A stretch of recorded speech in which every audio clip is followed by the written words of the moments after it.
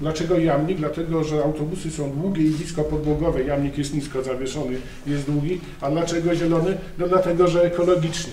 Autobusy mają, czy będą miały najwyższą aktualnie dostępną normę ekologiczną Euro 6 plus napęd hybrydowy, więc autobusu jeszcze nie przywiozłem, ale jamnika maskotku już Panie Burmistrzu na Pana ręce chciałbym przekazać. Dziękujemy.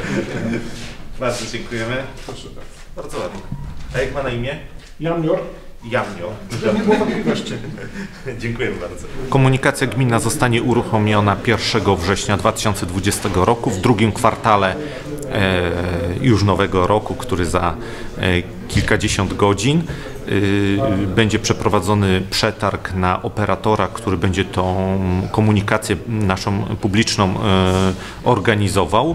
E, Autobusy będą obsługiwały miasto Ząbkowice oraz wszystkie nasze wsie, czyli miasto i gminę.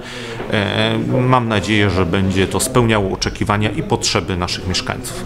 Oczywiście celem nadrzędnym jest to, żeby ona służyła mieszkańcom, więc na pewno ceny nie będą wysokie, żeby no, przede wszystkim e, pomóc rozwiązać ten problem, e, jakim jest wykluczenie komunikacyjne, a nie to, żeby na tym e, e, zarabiać. Chcielibyśmy, żeby również e, zapewnić dowóz dzieci do szkół, nie tylko szkół gminnych, ale również do szkół ponadpodstawowych. Koszt zostanie również określony w tym postępowaniu przetargowym, więc na dzień dzisiejszy nie mogę za wiele na ten temat powiedzieć. Dzisiejszym naszym projektem było podpisanie umowy na dostarczenie, a w niedługim czasie zaprosimy Państwa i przedstawimy kolejne etapy związane z realizacją tego projektu. Tak, autobusy będą w pełni niskopodłogowe, e, będą zabierały na pokład około 80 pasażerów. To się okaże po ich zbudowaniu ilu dokładnie,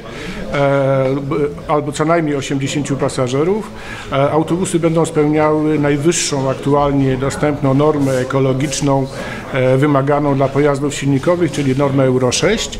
E, ciekawostką jest to, że silnik spalinowy będzie wspomagany silnikiem elektrycznym, to znaczy e, w miarę zgromadzenia energii elektrycznej w magazynach energii, to będą superkondensatory, będzie silnik elektryczny wspomagał działanie silnika spalinowego.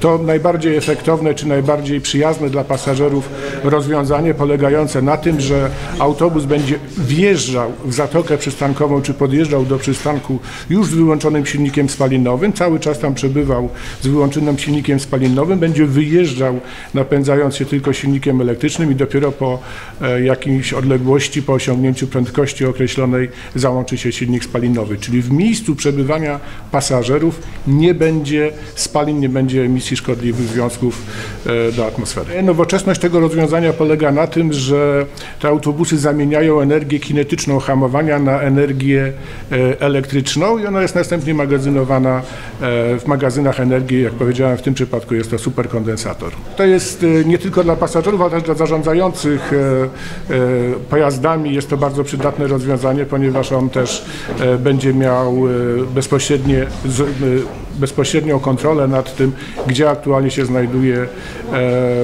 dany autobus. Te aplikacje mają też często funkcję rozszerzającą, która polega na tym, że można też raportować do dyspozytora informację o stanie pojazdu, ewentualnej usterce na przykład.